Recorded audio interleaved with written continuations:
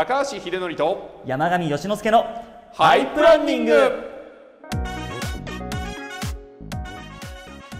はいはいパーソナリティの高橋秀則です、はいはいパーソナリティの山上義之助です。ラミンさん元気？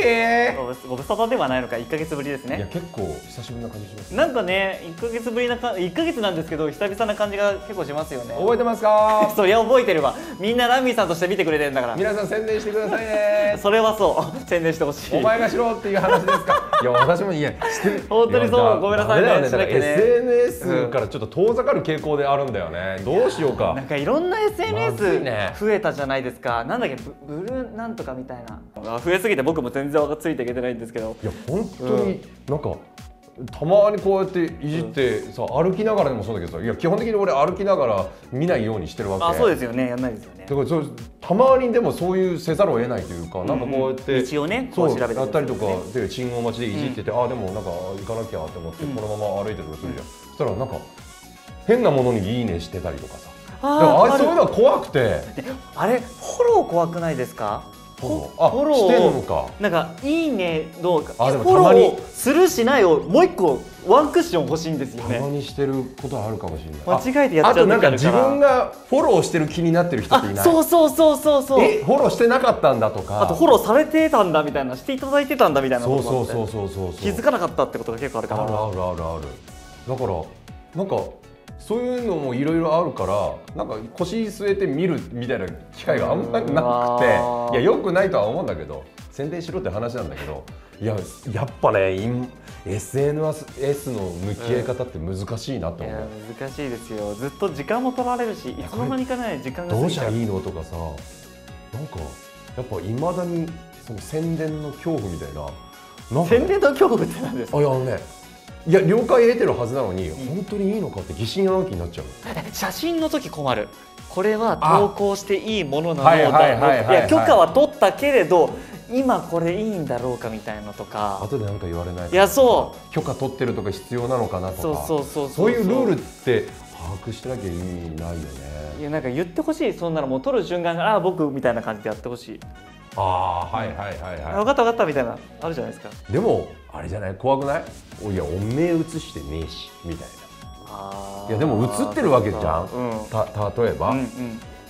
それで喧嘩にもなりたくないしね。映ってたら後ろぼかすし極力。ただあ自分映るかもみたいな反応の時ですごい俺早いよ。早そう。早そうですね。だからこうやってとか、うん。なんかこうとかなった時に、こうでもでもやるやる同じでもやります。あのお店とかおしゃれなカフェとかでこう撮影をすると今わかんないじゃないですか場所が。だからあこっち向いてるなと思った時はちょっとこうしてこう喋ったりとかしますもん、困るよね。うん、今ね簡単に撮れるようになったからこそ。ね。本当に怖いよね。自分も気をつけてるけど、写真いやでもよく載せてるよね。だからそういうのきっちりしてるから載せられるよね、なんかやっぱ自分あのあれカサス的な感覚よ。崖とかだったら広告とかも何も載ってないんだったら安心なんだけど。そうね。ないからねスこのビル大丈夫かなとか。そこまで気にしたらもうもうよ。いやあでもね一回すごく興味あるのは何うん。えっと特定屋さんっていうの？あどあのどうやって特定すごくない？ちょっとしたことでもうすぐ見つけるじゃん。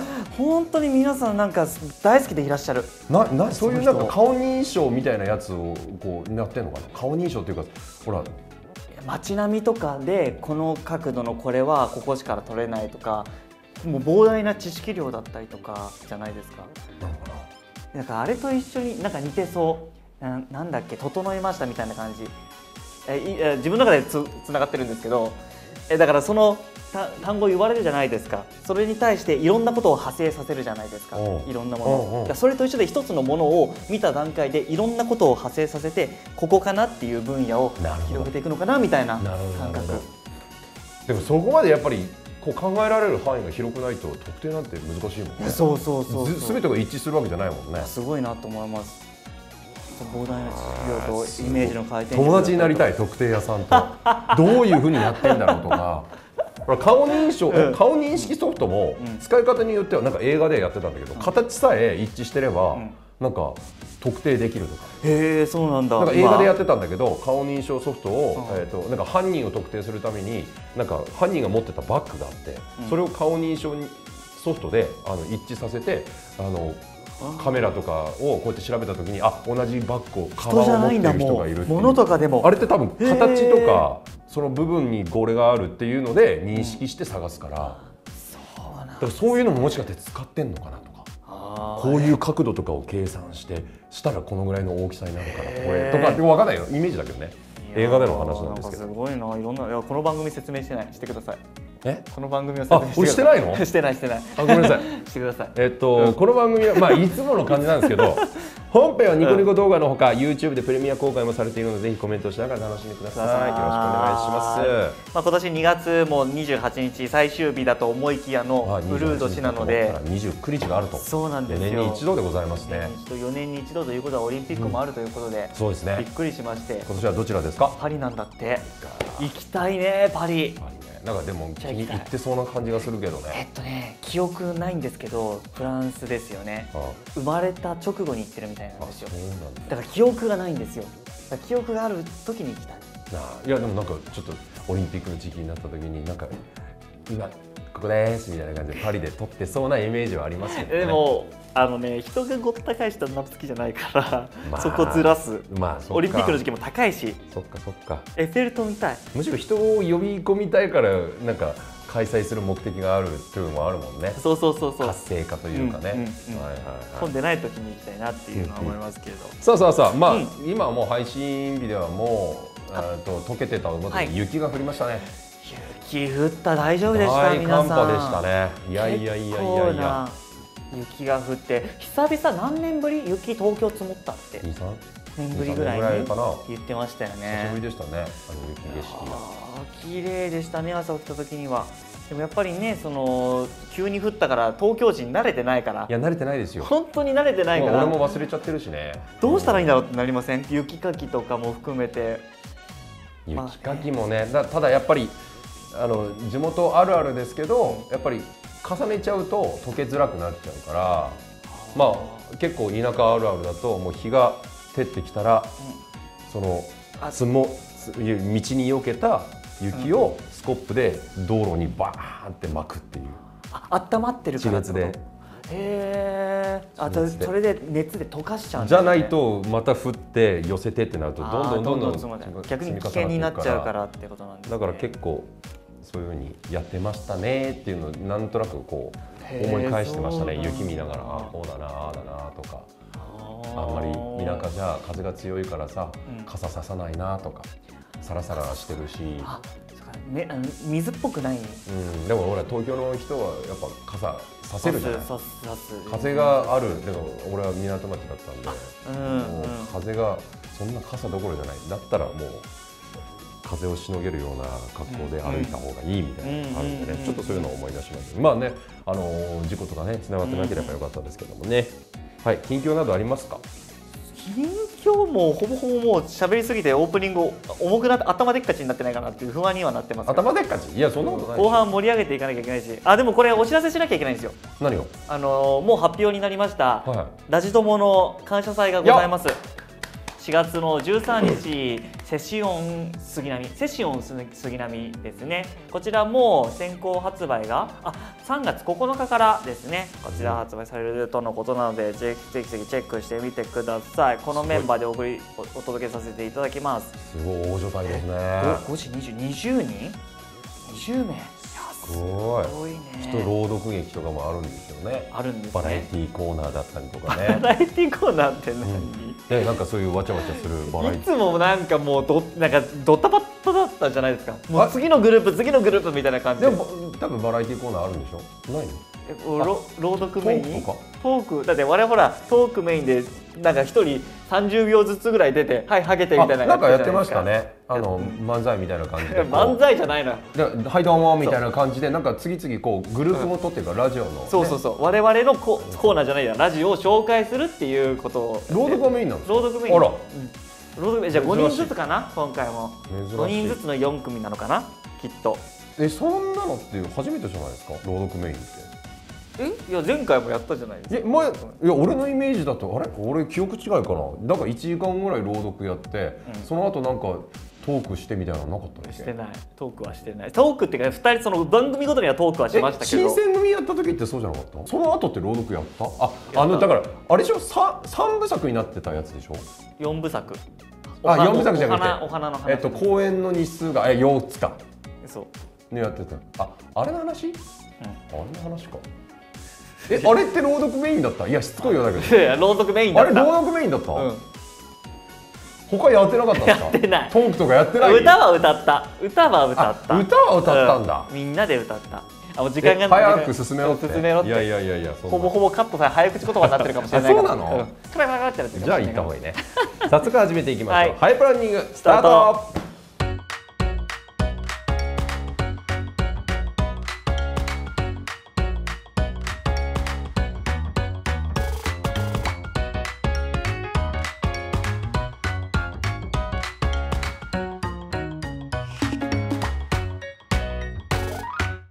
チョコバナナさんからいただきました。なんだか甘い香りがする。まだ内緒？後で二人きりになってから。へえ？そんなに待てないな。なんて。冗談だよ。うん。仕方ないから。じらされてあげるということで ハイプラ散歩のハッシュタグで投稿された写真を使用させていただきました。ありがとうございます。からのダミヘジングル。ダミヘジングルこのジングル後にダミヘジングルで募集した甘いセリフを使用させていただいております。ありがとうございます。どうですか？色っぽさ出てますか？久々の甘々セリフじゃなかったですか？ね頑張りました。頑張り頑張り頑張りましたって何なのよ。一生懸命頑張りました。はいありがとうございます。さあ皆さんからのお便りを紹介していきましょう、はい。まずは次元爆弾さんからいただいたメッセージありがですとうございます。おおお初メールなので何か違ったらすみません。初メールだそうですいやよありがとうございます。ヒデさんよしはいはいはいはいラミさんホワイトデーの贈り物の話です。はい。以前付き合い始めたばかりのうん。彼氏,、彼氏彼氏からサプライズプレゼントをもらったことがあります、はいはい。3月14日の朝目が覚めるとうん。私の腕にブランド物のおしゃれな腕時計が。朝起きたら？男性から高級品をもらうのは生まれて初めてでものすごく嬉しかったのを覚えています。あれから8年当時の彼は今の旦那さんです 結婚した結婚した時の彼の貯金は0円。わお。愛情表現が豊かな彼はただの貯金ができない人でした。何も知らずに喜んでいたあの日あの日の私を殴りたい。ええー、でもなんかおしゃれですね。こう朝起きたらなんかね手に腕についてるブレスレットじゃなくてこのフランク三浦ね。あ三浦？三浦ね？俺フランク三浦欲しいんだよね。あれも結構な高級時計になってますよ今。あそうなんだ。フランク三浦もね、みんなつけるようになったから。えな何万円とかでって買えるってこと？何千円なの？何万最円までいっ初何千円だったのが多分それでネタで面白くなって何万円になってません？今ブランド化してません？フランク三浦。いやあのあのこれ欲しいっていうのはあの欲しいのは自分で買うんであそうそう。絶対そういうのはなしですよ。ごめんなさいね。ああと受け取れないですか？ら事務所的にも。そうなのか。そう。あの今そういうのやめてくださいって。ああ言ってる、ね、気持ちだけで。あれば本当に、はいすみません。でもそういう意味ではあのこれ欲しいなって言うと思うんですけどそれあの それもう本当に幸せ過剰過剰摂取やめてくださいね。ヒデさん一番欲しいのはお手紙だから。もうもうお手紙来るとねもうわんさか喜ぶんでありがとうございます。本当に。抱きかかえていつもね持ち帰ってますもんね。本当に頬すりすりで。それは嬉しいのかわからない。ラミさんにとってみてたもまたまにシールであ切っちゃったりして。いいややめてそれは。痛いから顔大事にしてください。えー、いいですね3月のいやでもそれどうなんでしょょうね。あの、やっぱり貯金がないっていうことは、うん。やっぱちょっと不安にはなりますけども。不安になるでしょうよ結婚する時どうするのよ？結構な資金かかりますよ。なんかそういうそういうなんかドラマというかなんかちょっと下下町っぽい感じで言うとね、ああもう使っちまえみたいな感じのさ下町のイメージかどうかわかんないけど、なんかそういう計画性もないところも男らしくて入ってきワイルドでな。なんかいいような気もしますけどもね。現実を考えると ちゃんと貯金しといて。ないっていうのは欲しいなと思いますよ。だからやっぱりお財布は嫁さんがみたいなことなんでしょうね。あーちゃんとねちゃんと管理できる奥様が管理してうん。で小遣いにしてこのぐらいだ、ここからもう使いなさい、あなたが計画して使いなさいよってことなんでしょうね。だからもしかしたら貯金があれば別にお小遣い制とかないのかもしれないですよ。貯金さえあれば、貯金さえあれば。だって自由に使ってくださいって。あまあそれは貯められるっていうそうそうわけだから。そうそうそうあーこの人にはその自立というかそういうものがあるからっていうので、今結婚式じゃ思い出したんですけど、うん。結婚式僕久々にその友達の同級生はいはい。の行ったら、幼馴染の行ったらもう事前振り込みであ！結婚式のあれが。はいはいはいはいだはい。から事前振り込みしたんだでもおご祝儀を包んで持っていかなかったから、なんか不思議な感覚でえー、今振り込みなんだ今と思っちゃって。それはあの披露宴でもそうなんだ。披露宴でしたね。俺この前二次会のやつうん。行かしてもらって、で振り込みだったんだよね同じように、うんうんうんうん。でもやっぱ感覚的にはやっぱちょっとなんか包まないとなんかやっぱお祝いした気にならないからそうなんです一応ご迷惑というか受け取らないかもしれないけど、うん。一応包んでは渡したんだよね、あでもそれって多分ルール違反なんだよねきっと。今のご時世、多分嬉しいのかわかんないけどやっぱ渡すのはちょっとタイミング考えるよね皆さんの前にこうっていうよりは、あの終わった後あーってなった時に、みたいな、もう去り際ぐらいに渡さないとちょっとやっぱ周りにもねと思うよね、どっちの方がいいんでしょうね。事前の方がほら金額が分かるからその予算内でいろいろできたりとかもする場合もあるじゃないですか。受付の人は受け取ってくれなかったんだよね「いやすいませんこれ本人に渡してください」ってはえー。それは一切受け取るな」って言われてるんで。そうなんですね。そうそうそうそうあそれ厳しいなと思ってあ渡せないかなと思ったんだけどまあ、お金の管理っていうのもねちょっとね大変だったりするからね。うん。その方がもしかしたら安全っていう面ではいいのかもしれないですよね。だよね、うん。だか便利だよね。でもそういう意味ではね。便利になりました。うん。だって PayPay で送れたりもするんだもん今 PayPay ね。そうだね。楽になりましたよ。私も PayPay 始めましたよ。あええええおめでとうございます。えー、ヒデさんが始めた。教えてもらって。現金主義のヒデさんが。あら現金まあ。主義っていうか Suica とかでの支払いはしてたんだけど、 PayPay っていうのはああやったことなかったから。聞けたやっと。やっと聞けた。あらまあ感動した。おめでとうございますようこそ。いえいえありキャッシュレスの世界へ。でも今、うん。今入ってるのは何百円ぐらいなんだけど、う試しに入れてもらったんだけどあのその人のお金なんだよね。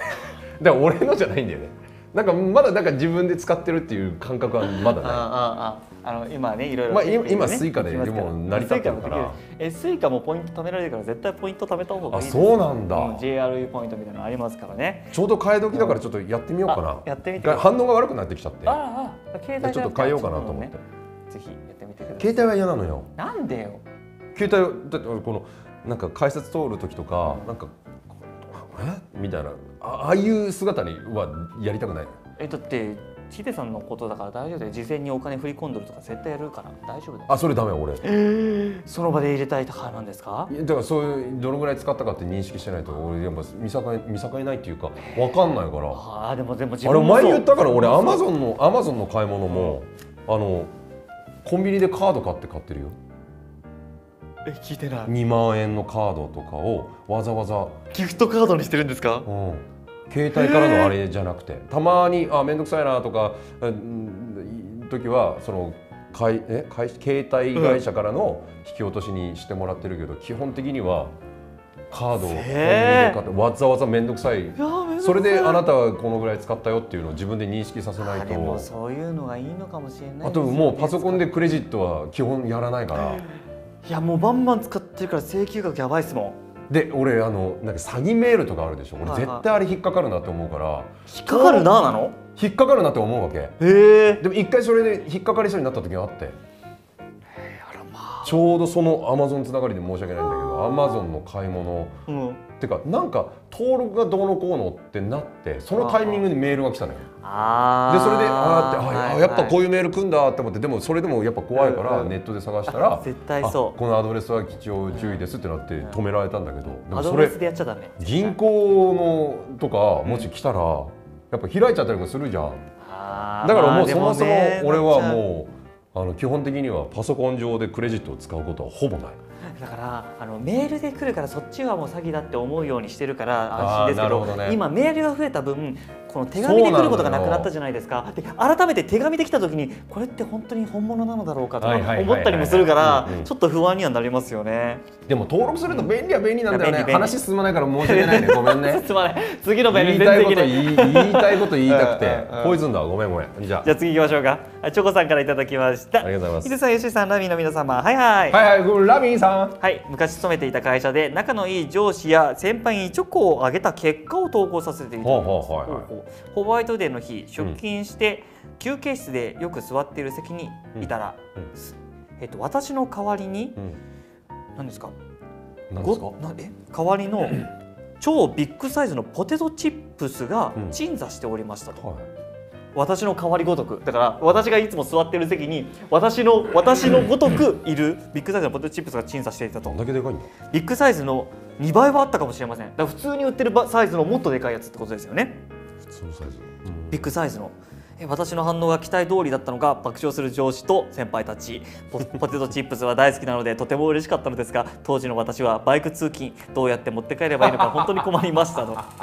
ネタだね。ネタですね、えーどう考えてもネタでするよね。えー職場が和むね。いやいいですね。こういうなんか楽しい職場に勤めてる感じ。いいなんかタンクにガムテープで貼って帰れとか結構でも私に私のごとくってことはうん。人間サイズぐらいってことですよねつまりは。はいはいはい。で結構な大きさってことじゃないですか。ビッグサイズでもこれぐらいだからこんなじゃない？なんかドンキとかでもしかしたら売ってたりするのかね。へえこれがでもねポテチ好きならね嬉しいが僕もねアメリカとかその海外行った時にまず最初にポテトチップスでかいの買ってそれをちょぴちょぴ食べながら帰り際に食べ終わるっていうのをよくやってたんでへ向こうでしか売ってないでかいサイズが結構売ってたんでそれやったりしてましたけど。ー味的にはどうなんですか？食感だとか。日本のポテトチップスとは違うんですか？はあどうですかね。僕なんか海外的な味はしますあよ、ーどっちが好きですか？えー日本のもの海外の方があそうなんだ。うん、いやもちろん今の日本のなんか片焼きポテトとかあるじゃないですうんかポテトチップスああいうの好きですけど。ろいろねあるもんうんね海外のなんか体に悪いような感じの味大好きなんですよ。ああなるほど。なるほど。あんま食べないじゃん普段。だからその時だけはなんか食べた物珍しさといそうか普段食べられないこそのレア感というか。なんか美味しくないグミとか。あの舌に色ついちゃうドリンクとか。あそうそうそうそうそう大好き大好きやってみたからいろいろ試してみたくなっちゃう。なるほどね。ねこうだから、ね、嬉しい反面困ったみたいな感じのプレゼントですね。はいはいはいはい。面白いね。いい職場だね。ね楽しい。いいね、うん。ササミーヌさんからいただきはいました、ありがとうございます。ホワイトデーにもらって嬉しかったものです。ラミさん。ラミさんはい。えっと結構バーっとあるんですけれど、うんうん。ちょっと省略して読ませていただいていいですか、はいまあこの会社に推しの方ができたとはい。うことですよ。で部署が違うんだけど話せずっていう形であいちょっると推し好きな人ってこと？推しって何？こ推しこはに当てはまる推しって何？えー、と別に恋愛感情はないけれどあなたのことが、えー、と好きです応援してますって見てるだけで尊いですっていう人。好きなんじゃないの？それ。え好きは好き。人として好きその人の存在が好き。でも別に恋愛をしたいわけではない、恋愛にはないんだ、へうん、えでその人を別に見てるだけで楽しんでるっていう感じ。がいいらっしゃったんですって。で私より一つ上の年上の独身の方で事務所が移動してきた方らしいんですけど、うん。でも仲良くなりたいっていう意を込めて手紙を渡したんですって、うん。で手紙にアドレスを書いておいたんですけど、うん。彼から返信が来て自分には今大切な人がいるからその気持ちには応えられないといういや提言いやじゃあ告白してんじゃんそれ。えだからその手紙としてその仲良くなりたいですっていう、うん。要は関わりがないからこそあの一緒に飲みに行ったりとかそういうふうに仲良くしたいですっていう。デートの誘いでしょ？デートの誘い。これはね。それでもそのほら推しなの？いやよくわかんないんだけど。推しと恋愛ちょっと近い。近いもので近くないって感じなのよなんだそれ。好きでいいよね。いや好きは好きなのよ。好きは好きなんだけど別にあの一緒に生活したいとかではなくて応援したいしそう何かしてあげたい。お友達になりましょうってこと？おお友達から始めましょうじゃなくてお友達になりましょうってこと？そうそうそう。だから防衛戦ではないのね。純粋に恋愛とかじゃなくてあなたとなんかまあ言ったら恋愛ではなくて関わり合いたいから、うんお友達からじゃなくてでお友達可能性ももちろんあるけども、お友達になりませんかっていうところを多分その人は多分告白だと思ってるから断ったんでしょ？だそうそうそうそう。って断り方が彼女いるからみたいなことでしょ？そう大切な人がいるからっていう。多分俺みたいな人だよ。推しっていう概念が分かんないんだよ。まあまあまあまあまあ。まあそうね。っていうことでしょ？でもでもちゃんと丁寧に断ってくださったわけですよ。いやだからこのササミーヌさんもかわいそうだよね,、まあそうね。だってれ告白してるわけじゃないんだからさ。そうね。そうそう。だからだったら俺最初にさ、あなたのことをてか推しとは何ぞやって教えてあげた方が絶対よくない？だって飲み仲間だったら絶対俺いいはずなんだよ。ただスズミルさんの場合はちょっと恋心も少しはあったみたいですどけれどっちだよでもそれとちょっと違うのよ。違うのよ。その言ってしまえば自分の推してるアイドルの似た人が職場に来たら「うわ好き推し!」と一緒の顔してるっていうふうになるわけじゃない。いや分かる、うん。まあ、頭では分かってるよもちろん。そういうことよ、うん。分かる分かる まあでもその気持ちはいかなくて職場の推しともっとお話ししたいなっていう気持ちが大きかったので ちょっぴりショックな反面でも私の推しは誠実な対応を正直に伝えてくれる誠実な人なんだなっていう気持ちで収まってやっぱり好きピみたいな感じになるわけよ。あー。いやでもなんかそだから別にそこまでなんか友達になりたいとかも、あそこまでは思ってない、だから断られても多分そこまでショックとかことではないんでしょ、うん。っていうことなんだよね。はい。なんかやっぱ俺はなんかこう見た時にささみささみねさんかわいそうだなって思っちゃう。だなとだって勘違いして断られてるから、うん。なんか告白しないのに振られたみたいなさ まあまあまああ。感じじゃん、うん。なんかそうでもそれで別にショック受けてるわけじゃないから、俺のこのなんか、ささみねさんもったいないなっていうものは、あ当てはまらないんだもんね。うん。四十になるとそういうのがちょっと面倒くさい感じにいろいろなるのよ経験をねそれあのホワイトデーの話まだ進んでないのよ。え？進めていいですか、うんうんうんいいよ。まだここね前哨なの、あそうなの、うん、プロローグ、ああはしょるところだったの、うんちょっと若干走るところだったの、はい話は長くなりましたね。気になっちゃってはい。あのもう言ってくれてる話が長くなりましたがって書いいや私の方なんで。はい、ここからがテーマメールの話で。はいはい。手紙を渡す少し前の話です、はいははい、バレンタインデーに推しにチョコを渡す口実としてその彼ですよね。事務所内の全員にチョコを配っていたそうです。いうん。そしてなんとホワイトデーの日に彼に別室に呼ばれて、うん。私だけに特別にお返しとしてクッキーのセットをくれたんですって、はで私一人が暴走して気持ち気を使わせてしまった気もしますがなんだか甘酸っぱくて一番嬉しかったホワイトデーのお返しの話でしたっていうのを ささっぱりしてんいなやいやな いやなおさらなんかちょっともったいないなってもうなんか可能性あったんじゃないのってちょっと思っちゃった。最初最初そのねそのクッキーのセットをくれたっていうからクッキーのキットみたいのもらったのかなとか思っちゃってあえこれで作ってくる作るやみたいな感じだったのかなとか思っちゃったからそういう意味じゃないんですよねきっとね。クッキーのいろんなのが入ってるってことですよね。うんでもまあそういうことでしょ。うんうんうん。だから最初はだから逆にプラスでかわいそうだなってクッキーをえ作るキットみたいな。てなんかそういうセットをくれる人なの？違う違う違う違う。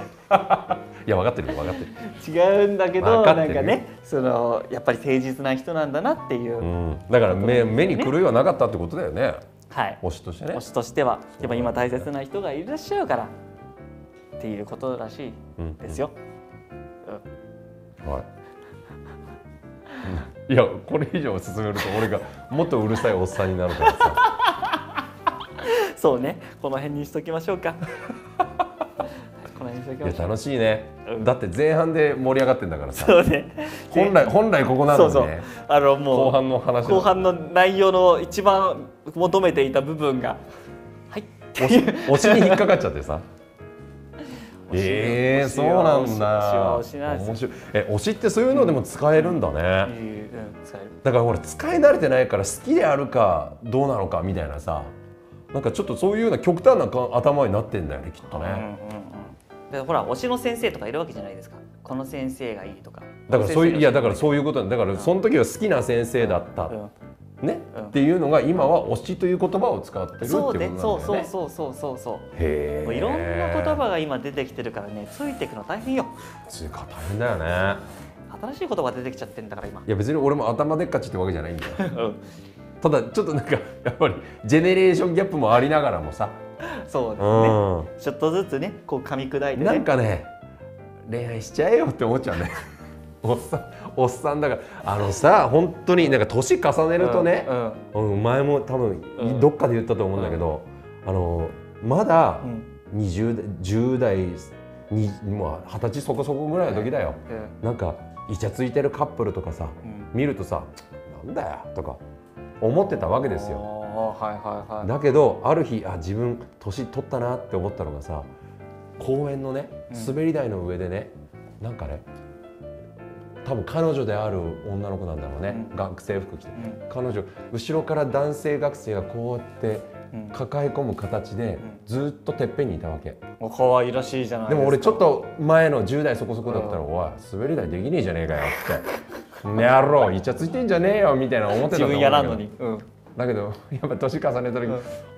頑張れってなんか甘いですよねなんか夕日が似合うぜぜみたいなさ何話してんのかなと思っていいなあとかってなんかそれあおっさんだったなって思ったね。それ思ったら多分30ぐらいだよね。ああでも結構最近じゃないですか。30えこれ伸ばすのちょっとあれなんですけどちょっと最近見て衝撃だったこと言っていいですか？うんいいよいいよ。岩盤浴行ったんですよ。でちょっと休憩できる。終わってから着替えてお風呂入って着替えてからあの休めるスペースがあったんです。でちょっと広めのソファーでうん。一人一人分座れるかなぐらいの感じのところに2人でこうく密着してそうそう。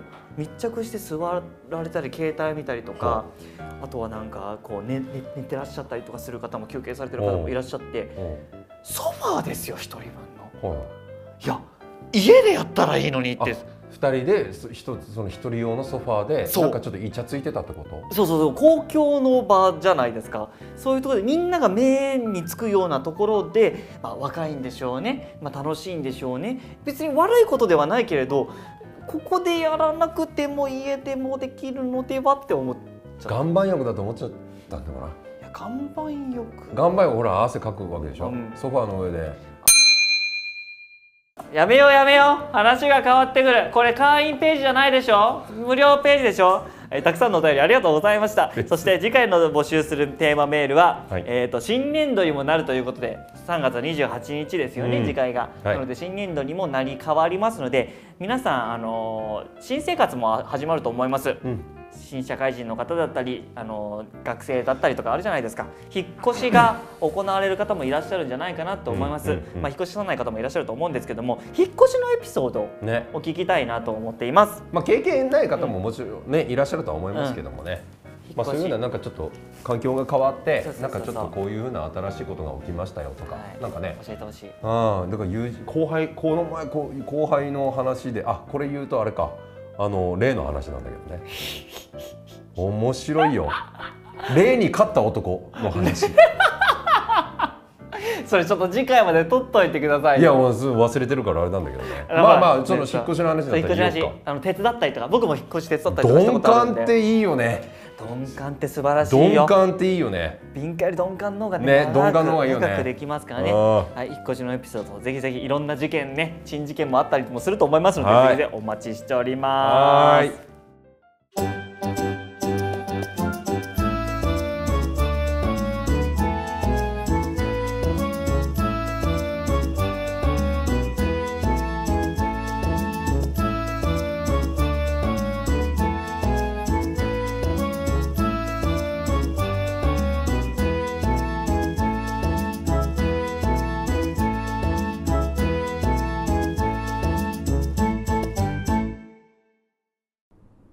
マスカーさんからいただきました。おお来た来た。おい待ってたよ。お疲れ。帰ろうとしたら雨降ってきてさ。傘一緒に入れてくんない？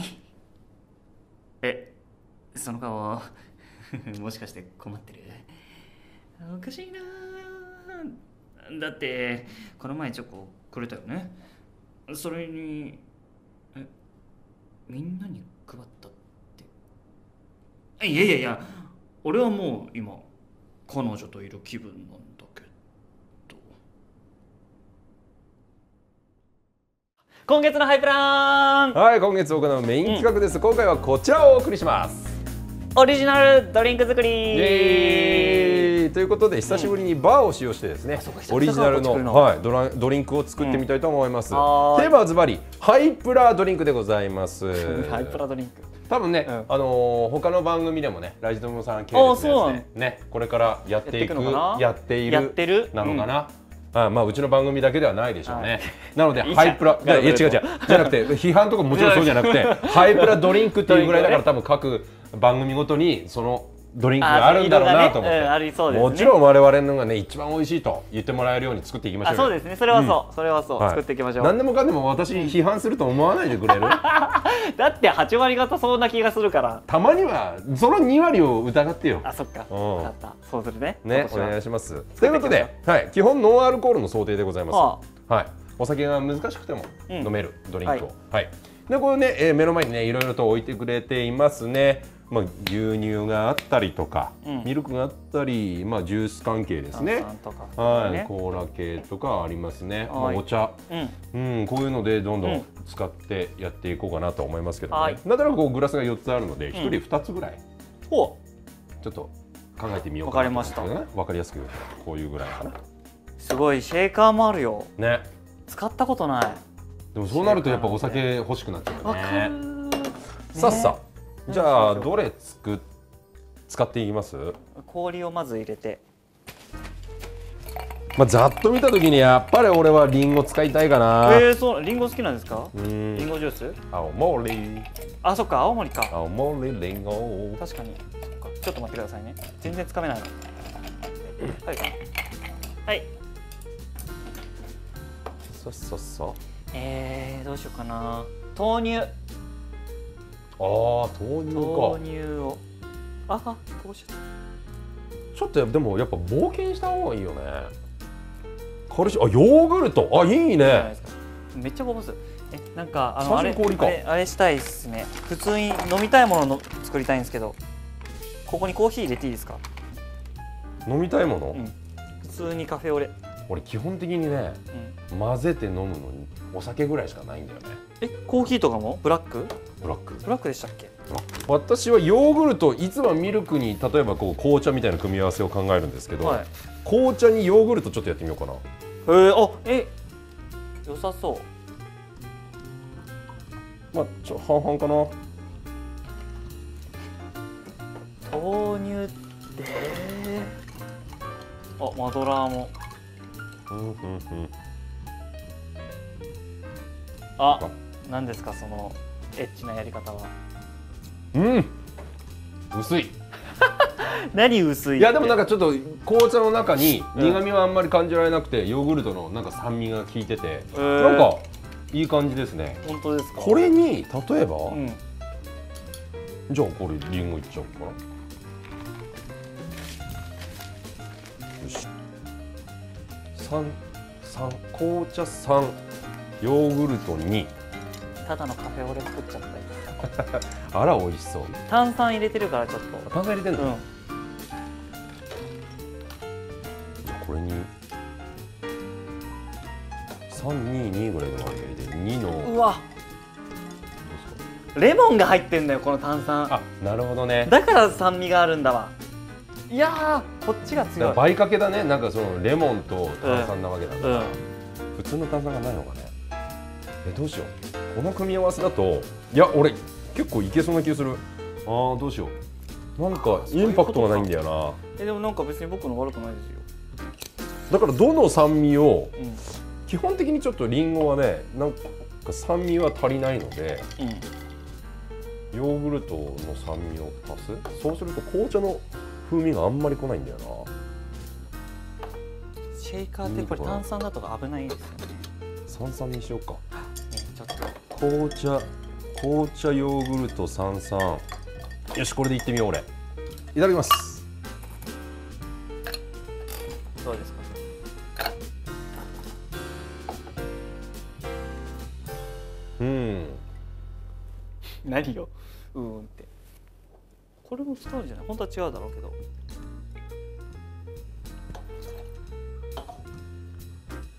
まずくはない。まずくはないんだけど。うまくもないってやつじゃん。あでもやっぱ俺ちょっと方向性こっちにしよおいいじゃなううん。い不満しかない。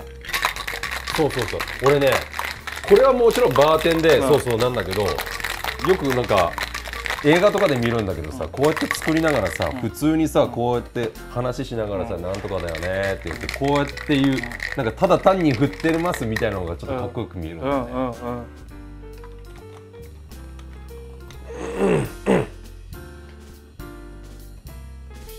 えよくない？何と何混ぜたの？ぶどうとリンゴとジンジャーエール。ぶどうりんごジンジャーエール。あとちょちょっと紅茶。はいはいはい。ちょっとまあ紅茶まあま入れ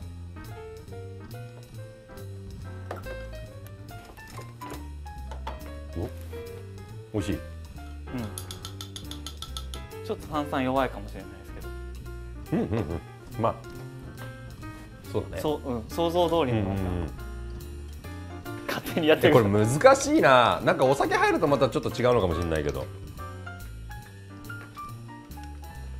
いやー紅茶ベースでなんか作りたいな。あそうなんですか？紅茶ベース作りたいんですか？紅茶多めだ。もう切れた。ひでちゃん。ひでちゃん切れちゃっひでちゃたん切れたよ。なんで切れちゃったの？切れていますよ。切れてますよ切れてないですよじゃ切れてますよ。これにうん、お茶に茶？それただの茶じゃない。早口言葉みたいにね。お茶茶。茶茶。お茶茶とた茶ちょお茶。とたちお茶たちょ茶たちょだ。ょお茶たちょ茶たちょ。茶とたちょ茶たち青竹茶筅に？ょお茶茶とた茶。来るわ来るわ。何が来る？荒野の山おのこけら小僧。たぬき100匹？橋薬膳。天目100杯。もう800本。ブグバグブグバグブグバグ。合わせてブグバグ。ブグバグ。止まん。止まらねえ綺麗な色味じゃないですか？ねえ。ねえ。綺麗。なんかこういう宝石クォーツ？クォーツ！俺それお酒って言われるとなんか飲む気するんだけどそれジュースって言われたら俺手に取らないかも。しれないえー、なんでよ。なんでよってだから色味の話でしょ今。なんでよ。あなんでそれを認めてくれないのってことか。えいいよこれ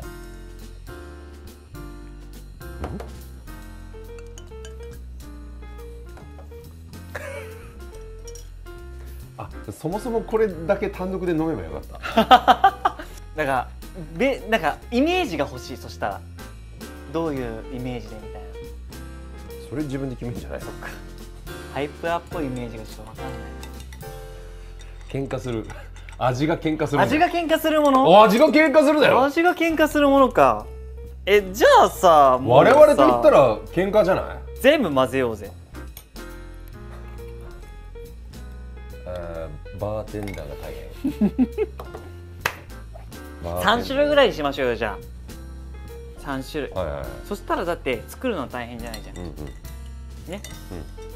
だから戦わせればいいんだね。戦わせお互いにさ強いやつ。はい分かった。はい。決めた。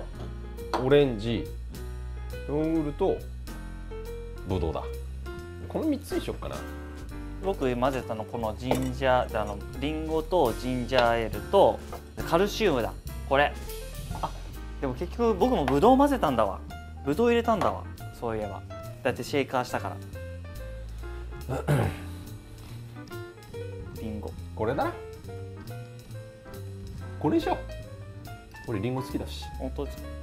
これブドウ入ってる、入んなくても十分。リンゴの炭酸ジンジャーエール美味しいでしょ？美味しい。多分いろんなものを飲んでる。君の味の方がいいわ。あとカルシウム取れるしだって俺で基本的に混ぜるのあんま好きくないからさ。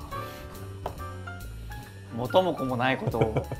えでもあれしません？んドリンクバーとかでこうやっていろいろ混ぜて。いやない。あ知らなかった。俺ドリンクバードリンクバードリンクバーコーヒー以外でもお茶ぐらいかもし飲んだとしても。ー。甘いものはやっぱ苦手だもん。う。ん。ドリンクバーでやりません？今度どっかの。ファミレスの。ここじゃ決められないってことこれでいいじゃん。だから。ハイプラ。はい。なんとなくこういうような方向性でいいですか？これ確定ではないんでしょ。でも。ななんとなく方向性として。OK これでいこう。よし。はい。ただし沈殿するちょっとそれ考慮しなきゃいけないね。うんはい。ということで今回はい。今回ハイプラドリンクとしてこの3種類を混ぜたドリンクですね。はい。リンゴジンジャー。カルシウムヨーグルト。ヨーグルト。はい。これですね。はい。これがハイプラでございます。もし他の番組でかぶったら絶対、えー譲らないでください。以上今月のハイプラでした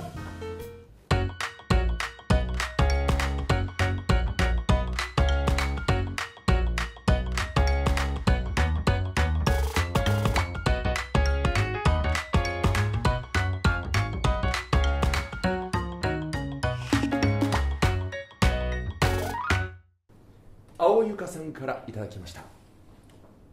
はいこれ。少し早いけどホワイトデー。だってバレンタインダメだったって言ってたでしょ。頑張ったねってことで今あげたかった。もう少ししたら元気になれるといいな。ハンナさんからいただきました。今日も北風が強くて寒いね。僕あったかい？ん？ぬくぬくしてあったかいって。よかった。君が笑顔でいてくれて。ああほら梅が咲いたよ。まだまだ寒いけれど春が来る証拠だね。春が来たらうん。何でもない。さあ目的地に着いたよ。そう。笑顔で行ってらっしゃい。また後で温めてあげるからね。さて、えーエンディングのコーナーでございます。ただいまでございました。はいということで今回いかがでしたでしょうか？結構喋った気がする、余計なことをねバッサリいかれてる気がするんですよね。ここにたどり着くまでに。あーあるかもね。その分我々がいかほど 無駄なことを話しているか。最近こう喋ると、は結構な割合で躊躇なく切るんですよ。あそうなんだ。結構躊躇なく切るからあここ切ってるとか全然思いえ思い話はつながってるんですか？いや俺ちょっと見てはないんだけど。見て。え？見て。いやそこはね いやごめんあのなんだろう。思い出としてうん。残しておきたいから。あーまあまあまあまあまあ。まああのラミーさんたちのコメントも見たいから僕はそれと同時に見たりする。あそうかそれで見れるんだ。そうそう見たりしますけど。そうだ。おもう完全にツイッターの方で確認してんだよな。X ね今 X だ確かにみんなねツイートもしてくれてるリあ違うポストだな。ポストしてくれてるから。視聴会したいね視聴会？みんなで？一つの一回どっかの番組をぼ会を視聴会。このこのこの番組を？あ生放送じゃなくてあそうそうコメンタリー？あじゃあ2時間待たせたのやりましょうよ。いいか？って2時間待たせたのやりましそれ前の番組でしょ？そっか。この回だけじゃ。それは生放送だった生放送だったから。じゃなくて生放送じゃないハイプラになっての、うん。なんか見返してはいはい。なんかちょっとは反省点。反省することある？スこの番タッフさん組が選んだこの回みたいな。あそれは知りたい盛り下がったやつとか。何盛り下がったやつって？ほらよくあんじゃん。あのスタッフさんからの文句みたいな、ああでもこれってどうなんですか？ねえねえ我々は結構言ってるけどスタッフさん側からないじゃないですか。そうそうそうそうそう。ちょっとそういうのでね我々戒められてちょっとさ。そういうのってなんかできるんですか？な。んかここら辺に過去過去動画みたいなのをこう流しながらこうやっぱみみんな見ながらというかさ我々はこっちで見てるけどその見てる映像をなんかここら辺にさなんか映して一緒に見てる感じになってあこここうだなとか。もうさそれこそほら過去のコメントとかも覚えてないでしょ？覚えてない。あーって思うけどさ。もう言ったことその場のその即興だから。でもあと突っ込みどころ絶対あるんですよ、うん。絶対いつもこうこう突っ込んでる時があるから結構サイレントでそれの突っ込みとか欲しかったりしません？コメントその文字で。どんなこと思ってんだろうここでみたいな。いや面白そうじゃないですか、うんね、うん。どっかでねそういうような回みたいなのあってもいいんじゃない はい、じゃあそういう機会を設けられたらやっていきましょね、はい。いや次回次回というか今度の話をしといて今回の話あんましてないっていうのはちょっとよくないね。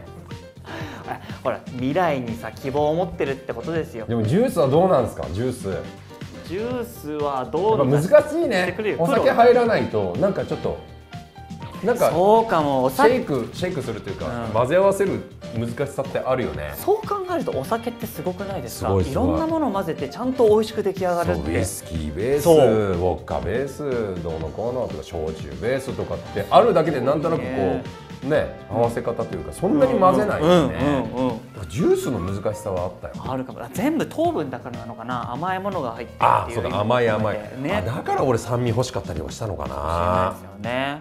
いろんな味として。だから辛いもあってもいいんだよね。辛い。辛い。あだから炭酸系のその辛口とかそういう。でもジンジャーの辛みのやつでもいいと思うしさ、うんあのどうしたってあのジンジャーは甘みもあったりとかしたから,、うんありましたねだそういう意味では何味覚のバリエーションがあったら、うん。あいけん。